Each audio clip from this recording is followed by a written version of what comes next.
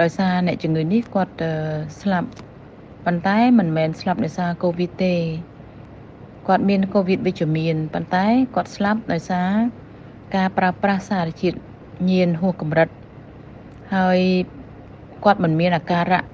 ដែលពាក់ព័ន្ធជាមួយនឹងកូវីដទេបានន័យថាมันមានការហត់ដង្ហក់มันមានការថប់ដង្ហើមมันមានកម្ដៅឡើង ហើយมันមានអុកស៊ីហ្សែនចុះ សរុបទៅគាត់មិនមានបញ្ហាអ្វីដែលពាក់ព័ន្ធជាមួយនឹងជំងឺ Covid-19 ទេអញ្ចឹងអ្វីដែលគាត់ធ្វើឲ្យគាត់ស្លាប់ភ្លាមភ្លាមនេះគឺអាការៈដែលគាត់ប្រើប្រាស់សារជាតិញៀននឹងលើសកម្រិតហួសហេតុពេកហើយ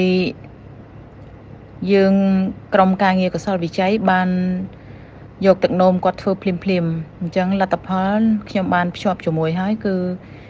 យើងឃើញថាមាន positive amphetamine ចាអញ្ចឹងចង់ជំរាបជូនអាដាមជំទាវក្នុងក្រុមឲ្យបានជ្រាបដោយសារខ្ញុំឃើញមានការ post share តតគ្នាតាមអឺប្រព័ន្ធបណ្ដាញសង្គមនានា